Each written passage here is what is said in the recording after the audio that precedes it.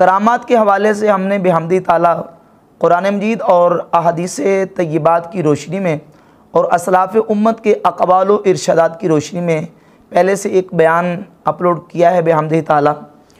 करामात के हवाले से जो करामात के मुनकर हैं और जिनके अकायद व नज़रियात में करामात के इनकार के हवाले से मोतज़ला के जरासी मौजूद हैं, वो अमूमी तौर पर दो बड़े एतराज़ा करते हैं। या शुबहात या इश्कालात हमारे अवामनास के सामने पेश करते हैं। उनमें से एक इश्काल ये पेश किया जाता है, अवामी सतह पे लोगों को ये कहा जाता है। जब हम हजूर सैन गौसे पाक शेख अब्दुल कादिर जिलानी रदी अल्लाह तु या किसी और वली की करामत बयान करते हैं तो अवाम के सामने ये लोग फिर इस तरह इतराज़ करते हैं, देखें जी, ये करामत जो आप शेख अब्दुल कादिर जिलानी की पेश कर रहे हैं, इस तरह की करामत हज़रत अबू बकर से तो नहीं हुई।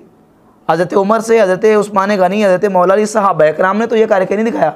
साहब कराम से तो ये करामा साबित नहीं है।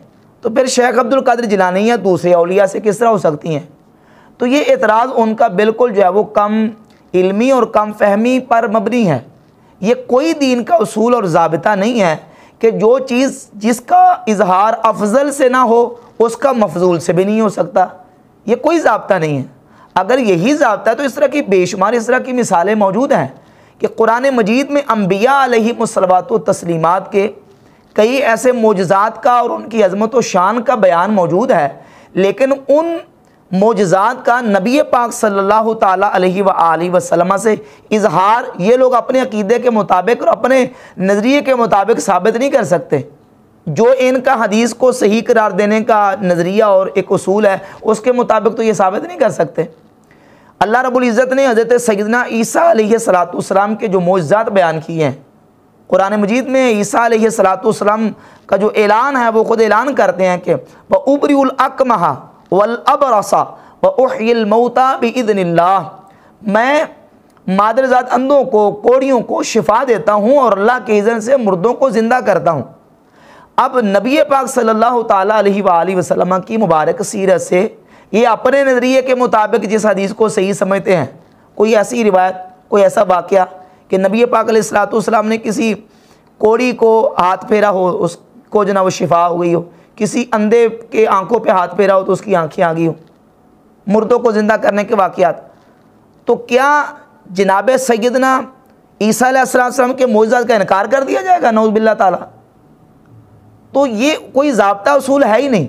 सैदना हज़रत सलेमान सलाम का तस्करा कुरान मजीद फ़ुरक़ान हमीद में मौजूद है कि वह सखरना लहुर्रीहा तजरीब अमरी हमने हवा को सुलेमान सलाम के लिए मुसखर कर दिया, उनके कंट्रोल में दे दिया। तजरीब अमरी ही उनके हुक्म से चलती है। अब ये जो सूरत हाल है और ये जो अजमत व शान है, क्या इसका इजहार नबी पाक सल्लल्लाहु अलैहि वसल्लम की ज़ात अकदस से ये अपने नज़रिए के मुताबिक उसका इजहार दिखा सकते हैं।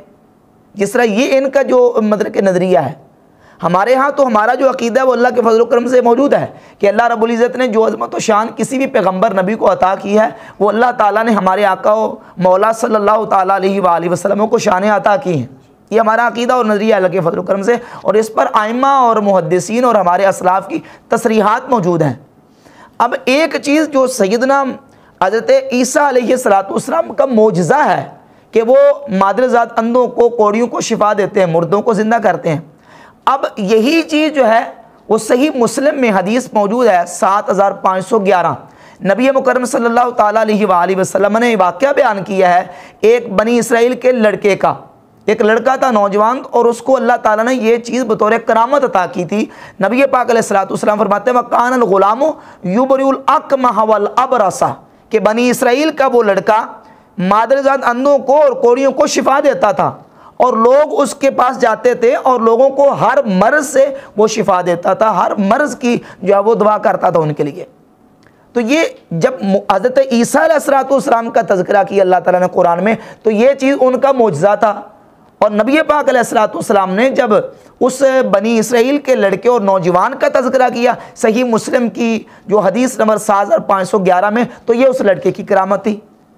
अब ये जो चीज़ है, क्या नबी पाक सल्लल्लाहु अलैहि वसल्लम की ज़ात अकदस के हवाले से कुतब हदीस में इसका इजहार है? इसका सबूत है? तो क्या इन करामतों का और इन मोजात का इनकार कर देंगे? तो ये उसूल और जबता अर्गज़ नहीं है। एक और मिसाल सुन लें। सही बुखारी में तीन हज़ार पैंतालीस नंबर हदीस है।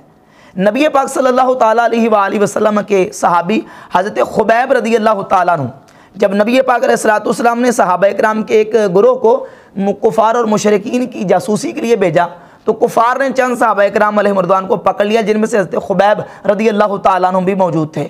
हज़रत खुबैब रदी अल्लाह तु को उन्होंने कैद कर लिया, दीगर साहबा को कैद कर लिया। अब ये जो सहाबियत खुबैब रदी अल्लाह तु हैं, इनके बारे में बिनते हारिस, जो उस वक़्त उनके सामने मौजूद थी, वो कहती, जब मैं उनके पास गई हँसते खुबैब रदी अल्लाह तु के पास तो वो बेड़ियों में जकड़े हुए थे।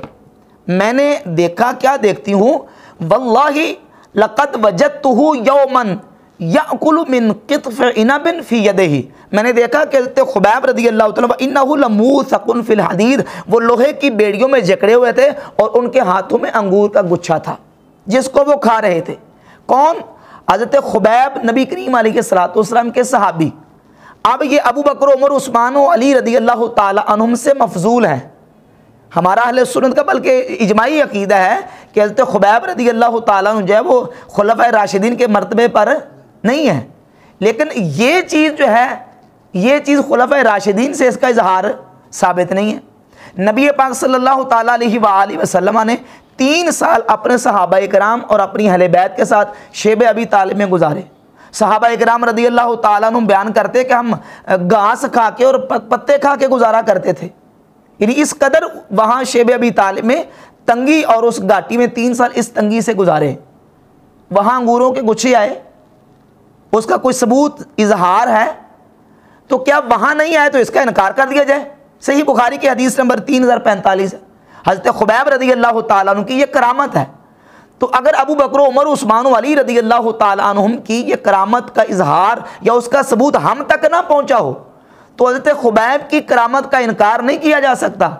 इसी तरह साहबा इकराम रदी अल्लाह तुम की करामात का अगर हम तक इजहार नहीं पहुँचा उसका सबूत तो इसका मतलब ये नहीं है कि हम दीगर सालहीन और अली अल्लाह की करामात का इनकार कर दें। बात समझ आ रही है ना? तो ये कोई उसूल और जबता नहीं इन्होंने अपनी तरफ़ से, एक अपनी तरफ़ से जो है वो गड़ा हुआ जबता और उसूल कायम किया हुआ है कि जो चीज़ अफजल से उसका इजहार साबित ना हो तो वो मफजूल से नहीं हो सकती। तो ये करामात अलिया अल्लाह की जो है, वो बरहक हैं। इस पर तो अकायद की किताबों में बाकायदा अबवाब मौजूद है चैप्टर्स मौजूद हैं। ये इमाम अबू बकर अहमद इबन हुसैन बहकी रहमत की किताब अलतक़ात वलहिदायत सबील रिशात अला मदब सलफ़ अहल सुन्नत वलजमा उन्होंने इसके सवा नंबर तीन सौ इकहत्तर पर ये मक्तुलमकरमा से किताब छपी है, इमाम बहकी रहमत की। इसके सफ़ा नंबर तीन सौ इकहत्तर पर इमाम बहकी रहमत ने बाकायदा चैप्टर और उनवान कायम किया है बाबुलकौल फ़ी करामातलिया अल्लाह के वलियों की करामात के बारे में। फिर कुरान मजीद की आयात और नबी पाक सल्लल्लाहु अलैहि वसल्लम के सहाबा कराम मरदवान के वाक़ात और सारी चीज़ें डिटेल के साथ बयान की हैं। तो ये तो था एक जवाब इल्ज़ामी तौर पे कि ये इस तरह की बात, इस तरह इनकार करना, ये दुरुस्त नहीं है। हाफिज़ इबन हजर असकलानी, शार बुखारी, बहुत बड़े इमाम और बहुत बड़े मुहदस आल सुन्नत, वजमात के यहाँ देवबंदियों के यहाँ गैर मुकलदिन वहाबिया के यहाँ सब के यहाँ मुसलमान शख्सियत है। उन्होंने बुखारी शरीफ की शरह लिखी है फ़तुलबारी शर सही बुखारी। इसके जिल्द नंबर बारह के सफ़र नंबर चार सौ पैंसठ पर इसी बात को बयान करते हैं कि बाद में उम्मत के अलिया अल्लाह से, सालहीन से मुकाशफात, इल्हामात और करामात का जहूर हुआ। नबी पाक सल्लल्लाहु अलैहि वसल्लम के सहाबा कराम रदी अल्लाह तुम से इस कदर करामात और मुकाशफात और इल्हामात का जहूर क्यों नहीं हुआ? तो उसका तहकीकी जवाब बयान करते हुए हाफिज़ इबन असकलानी रहमा लिखते हैं वयुशीर अलादाल का कौल सल्ला वसम फ़ी यकुन नबी पाक सलाम की हदीस है, सही बुखारी में तीन हज़ार छः सौ नवासी नंबर हदीस है। उसमें यह है कि हजूल सलाम ने इर्शाद करना कि पहली उम्मतों में मुहदसून मुलहमून और मुकलमून थे, जिनको अल्लाह रबुल्ज़त जल्ला शाह इल्हाम फरमाता था, जिनको अल्लाह ताला जल्ला शाह इल्हाम अता करता था। अगर मेरी उम्मत में कोई है तो वह हज़रत उमर रदी अल्लाह फ़ुमर वो कौन है हज़रत उमर? और ये याद रखें, जो इस हदीस में इन का लफ्ज़ है ना इन का कलिमा। इमाम बदरुद्दीन ऐनी रहमत ने फ़तुलबारी उमदतुल्कारी शोर सही बुखारी, उसमें लिखा कि इन लई सतल शक के बल तकीद फरमाते शक के लिए नहीं है, बल्कि ये इन ताकीद के लिए है।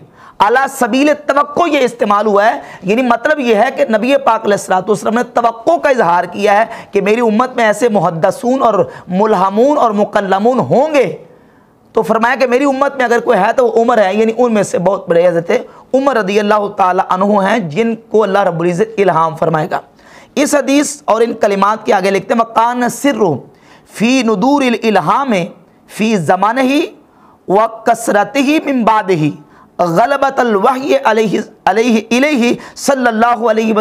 यकज़ाते। फरमाते हैं, नबी पाक सल्लल्लाहु ताला अलैहि वसल्लम के ज़ाहरी ज़माना तय्यब में इल्हाम बहुत कम हुए, उनकी कम की वजह क्या है?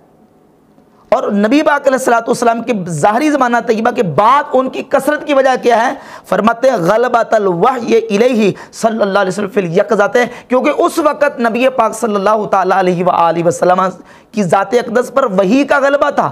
उस वक़्त वो वही नजूल वही का दौर था। उस वक़्त वही कसरत से आती थी और वो वही का दौर था। अब वही के मुकाबले में जो इल्हाम या कश्फ है, ये तो एक जनी हैसियत रखते हैं। और वही जो है वो कती हैसियत रखती है। तो अब वो चूँकि वही का दौर था तो उस वक़्त वही के दौर में इल्हाम और मुकाशफात बहुत कम हुए। व इरादत इजहार मोजात में हो और फरमाते अल्लाह का इरादा ये था कि अल्लाह ताला नबी पाक सलाम के मोजात को ज़्यादा से ज़्यादा ज़ाहिर करे। फ़कान मुनासिब अल्लाह यका लगैर ही मिन फ़ी ज़मान ही शयन तो मुनासिब ये था कि नबी पाक सलाम के मुबारक दौर में कशफ और इल्हाम कम हो, करामत कम हो और वही का इजहार हो और मोजात का इजहार हो। फलम मन कतल वही बे मौत ही वकाल इल्हामो लेमन लेमन तस्सहुल्लाहु बही अमन मिन लुब से फ़िज़ा का फरमाता है, जब नबी पाक सलाम का विसाल अकदस हो गया तो हुजूर के विसाल अकदस से जब वही नबूवत मुनक़ हो गई इल्हामो तो फिर इल्हाम वाक़ हुआ। किससे हुआ? ले मानिक तस्हुल्लाह बही, जिसको अल्लाह ने इल्हाम के साथ ख़ास कर लिया।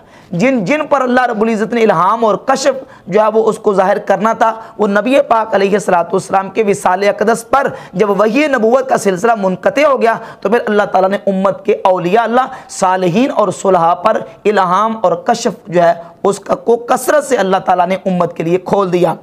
लिल अमन मिन लुब से फ़ीज़ा का क्योंकि अब अमन का दौर है। इस एतबार से कि अब वही और इल्हाम में इल्तबास नहीं हो सकता। अब करामत और मोजे में इल्तबास नहीं हो सकता। वो दौर मोजात को जब्त करने का दौर था। वो दौर वही को जब्त करने का दौर था। यही वजह है कि नबी पाक सल्लल्लाहु अलैहि वसल्लम ने सहाबा कराम रदी अल्लाह तम को हदीस लिखने से मना कर दिया, ये सही मुस्लिम है? सही मुस्लिम में इमाम मुस्लिम रहमत ताला हदीस लेके आए कि नबी पाक सल्लल्लाहु अलैहि वसल्लम ने सहाबा इकराम रदी अल्लाह तम को हदीसें लिखने से मना किया सात हज़ार पाँच सौ दस नंबर हदीस है। हजूर फरमाते ला तकतुबु अन्नी। मुझसे कोई हदीस न लिखा करो। वमन कतब अन्नी गैर कुरान फल यमहाहू जिसने कोई हदीस लिख भी ली है कुरान के अलावा तो बाकी हदीसों को मिटा डाले। तो नबी पाक ने उस वक्त हदीसें लिखने से मना क्यों किया? इस वास्ते कि वो दौर वही के नजूर का दौर था। वही के जबत का दौर था ताकि वही को जबत किया जाए और वही को लिखा जाए और कुरान पाक जो है, जो अल्लाह रबुल्ज़त नाजल फरमा रहा है, उसको मुकम्मल तरीके से जमा कर लिया जाए। तो बाद में नबी पाक सलाम ने साहब कराम अलमरदवान को हदीसें लिखने की इजाज़त अता फरमा दी। बस समझ आ रही है ना? तो फरमाते, इसलिए उस वक़्त करामात का कसरत से जहूर नहीं हुआ क्योंकि मोजात का दौर था नबी पाक सलाम के मोजात के इजहार के लिए। और कशफ और इल्हाम का कसरत से इस वक्त उस तरह ना हुआ, क्योंकि वो वक़्त जो है, वो जागते हुए नबी पाक वही, नबी पाक पर वही के नजूल का वक़्त था। और आगे अगला जुमला लिखते हो, फ़ी इनकार वकूए ज़ाले का मा कसरत ही, वश्तहार ही। फरमाते हैं इल्हाम और कशफ के इतना कसरत के साथ मशहूर होने और उसके वाक़ होने के इनकार पर इनकार करना मुकाबरतुन मिमन अन कराहू। जिसने भी इनकार किया, वो मुकाबरा और अपने तासुब और अपनी ऐसी सीना जोरी और तहकुम की वजह से इनकार किया है, वो हकीकत को कबूल करने वाला शख्स नहीं है। वो मुकाबिर है, वो मुकाबरा कर रहा है, जो इल्हाम और कशफ का सूफिया से और सालहीन से इनकार करता है। तो ये तहकीकी जवाब था।